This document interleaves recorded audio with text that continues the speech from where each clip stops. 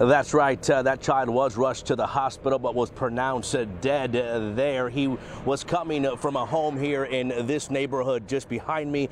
Harris County Sheriff investigators calling this just a tragic accident. Now, investigators and Harris County Sheriff uh, deputies, along with uh, several other emergency responders, responded to the scene here at this home in the 10,200 block of Cascade Hills. When they arrived, we're told they found a three year old child unresponsive.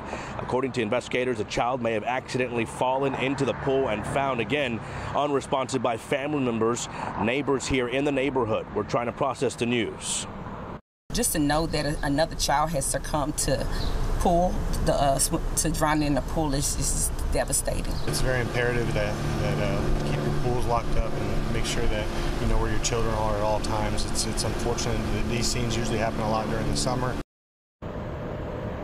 Again, the drowning remains under investigation, but investigators right now believe it is just a tragic accident. We're live in Northwest Harris County. Bill Barajas, KPRC 2 News.